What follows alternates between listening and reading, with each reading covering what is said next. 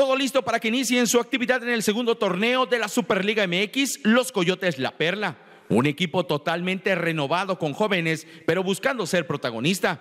Uno de los referentes es Caleb Hernández, quien habla para más deportes. Listo, otra vez eh, volvemos a entrenar y, y, pues a darle qué es lo que nos gusta al fútbol.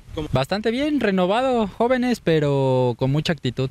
Sí, ya mi tercer torneo y, y pues ya hay que cargar un poquito con más responsabilidad. Además dijo que ahora es una liga altamente competitiva, pues más equipos se han incrustado a la Superliga MX. Eh, yo creo que la, la, liga se vio el torneo pasado que es una liga muy competitiva. Yo creo que por algo este, equipos como Jalapa y Orizaba vinieron a esta liga. Entonces yo creo que, que ya cualquier equipo va a estar eh, a nivel. Sí, yo creo que sí va, va, a estar complicado porque hay muchos equipos, como te digo, ya muy fuertes. Eh, Orizaba, Jalapa, este, que están, Jalapa está en otro grupo, Toros. Pero pues la liga está muy competitiva y está, va a estar muy peleado.